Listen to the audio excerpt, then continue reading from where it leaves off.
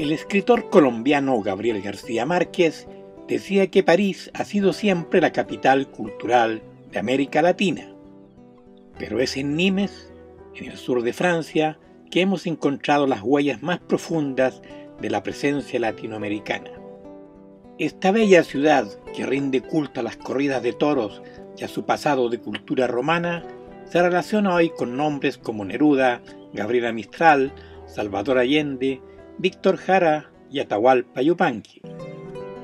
Héctor Herrera, propietario del Rinconcito chileno, un referente gastronómico y cultural en Nimes, nos recuerda que el cantautor argentino Atahualpa Yupanqui murió en Nimes en 1992.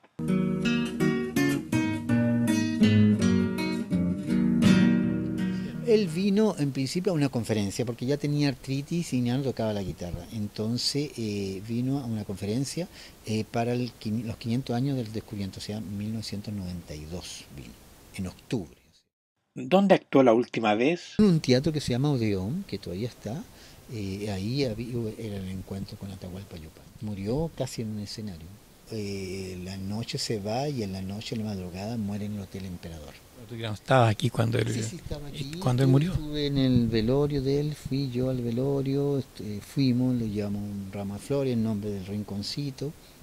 Entonces de aquí se, se, hicieron los trámites y todo y fue trasladado por el medio de la embajada Argentina se lo llevaron a París y de París partió a Argentina.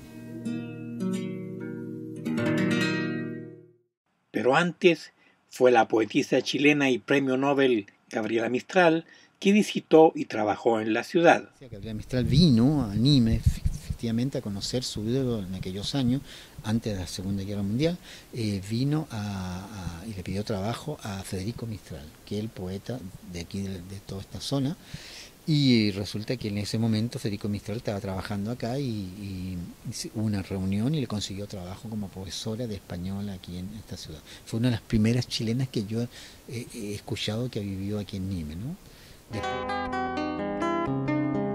La ciudad rinde también homenaje a la memoria de Pablo Neruda, al recordarlo con el nombre de su principal centro cultural.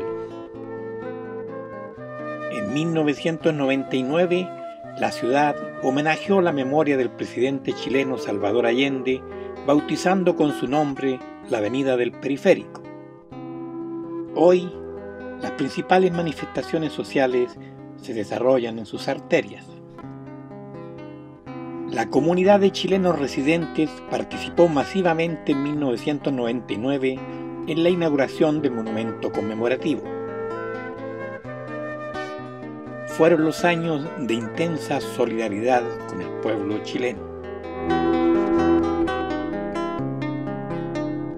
Pero estos contactos no son nuevos, datan de los albores de la independencia chilena con el monje Emanuel Dalzón. Monje que viajó a Chile en 1840 y tanto, a La Serena exactamente, y de, todavía hay, hay contacto con las unas iglesias en Chile y eh, este monje está enterrado aquí al lado de la catedral. El otro contacto, el primer contacto entre Nima y Chile.